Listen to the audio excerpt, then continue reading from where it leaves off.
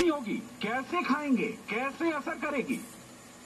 ये बताने से पहले इस दवा को तैयार करने वालों के बारे में जान लीजिए। जिसने ये दवा बनाई है, वो अब तक देश के लिए फाइटर जेट भी बनाते हैं, टैंक और मिसाइल भी बनाते हैं।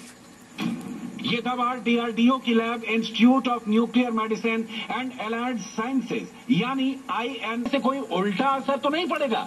इस डेवलपमेंट और ट्रायल को समझिए, जिससे इस दवा पर यकीन होगा। सीसीएमबी हैदराबाद में हमने पहला एक्सपेरिमेंट इसमें किया था जिसमें कि वायरस के ऊपर टू का इफ़ेक्ट जिसको टू डी ग्लूकोज भी कहते हैं इसका इफ़ेक्ट हमने स्टडी किया था और उसमें हमें बहुत अच्छे रिजल्ट्स मिले थे। 2020 तक फ़ेज़ टू खत्म हो गया। इसमें कि बहुत अच्छे हमारे को इसके रिजल्ट्स मिले। Large proportion of patients are coming out of oxygen much faster. उसको मंजूरी दी गई। देखिए ये जो दवा है, ये हम ओपीडी बेसिस पे पेशेंट को दे सकते हैं। इसका मतलब ये एक एंटीबॉडी का कॉकटेल है, जो early stages to moderate case में दे सकते हैं। इंट्रावीनसली देते हैं माइल्ड टू मॉडरेट केस में। इससे ये हॉस्पिटलाइजेशन से बच जाते हैं। प्रोग्रेस नहीं होंगे। फ्लोरिड कोविड के सिम्टम्स नहीं आएँगे। पेशेंट्स हॉस्पिटलाइजेशन से बच जाएँगे।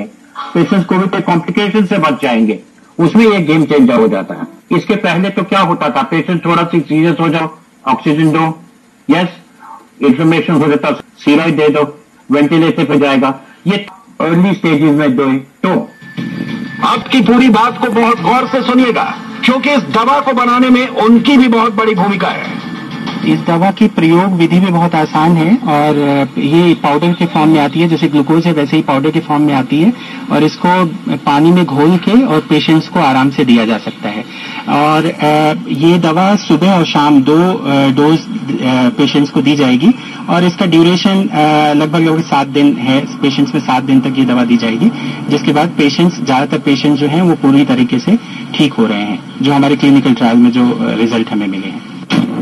ये दवा पाउडर के रूप में होगी। इसे पानी में घोल कर पिया जाएगा। इसलिए ये बात भी समझनी होगी कि अगर ये दवा पाउडर या टैबलेट फॉर्म में होगी तो इसे ग्लूकोज की तरह लेना मरीज़ के लिए आसान हो जाएगा।